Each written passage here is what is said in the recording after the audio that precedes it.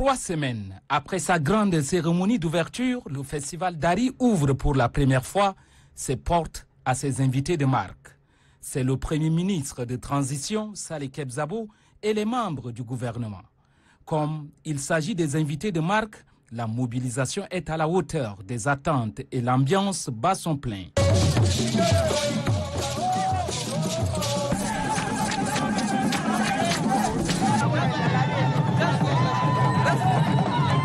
Très ému de voir cette forte mobilisation des festivaliers venus des 23 provinces autour de la culture, des arts et du tourisme, le Premier ministre de transition, Saleh Kebzabo, a pris tout son temps pour visiter tour à tour la représentation des différents habitats, les stands et la présentation des danses issues des terroirs de chaque province.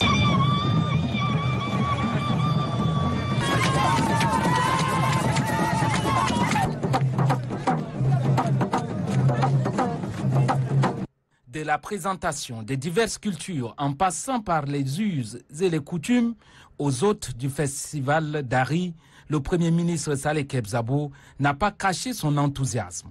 Pour lui, le festival d'Ari doit inspirer le gouvernement à faire plus pour valoriser la culture tchadienne.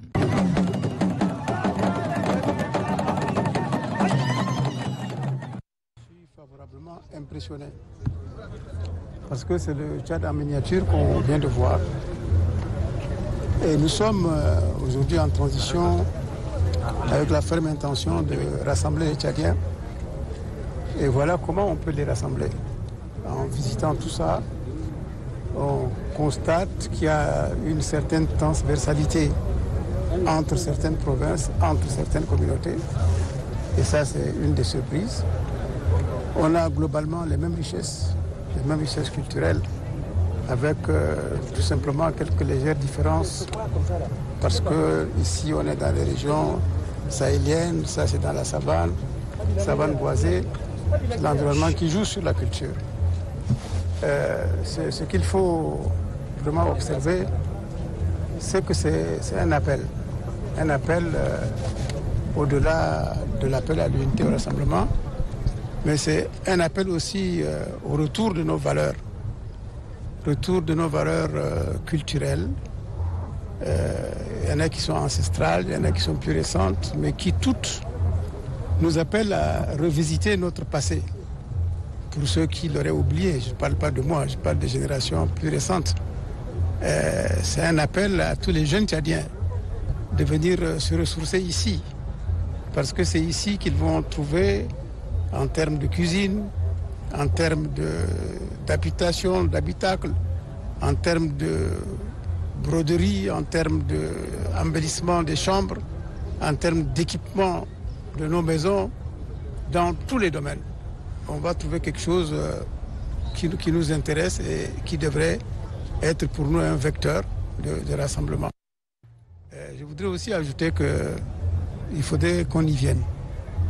Il faut que les Tchadiens viennent visiter euh, cette foire, qui est une foire nationale. Ce qui m'inspire à chaud comme ça, mais on le verra au niveau du gouvernement, c'est de voir comment euh, reprendre tout ça, en faire un véritable euh, festival culturel, un festival des arts et de la culture, dans lequel tout, tout, ce qui est culturel va, va se produire. La musique, les danses, euh, les chansons, les arts, la sculpture, euh, la construction. Ça demande donc une organisation encore beaucoup plus lourde.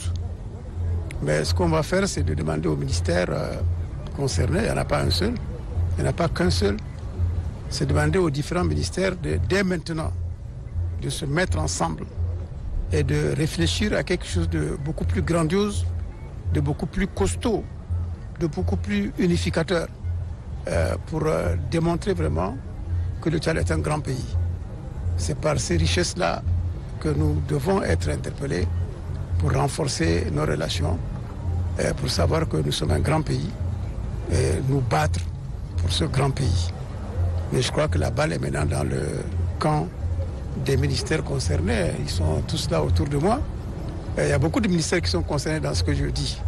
Et je vais les inviter à se mettre ensemble et on va œuvrer pour que véritablement ce soit un festival national. Euh, Peut-être qu'il y aura des, en tout cas des formules qui seront développées pour que ce, ce projet-là prenne corps et qu'il aboutisse.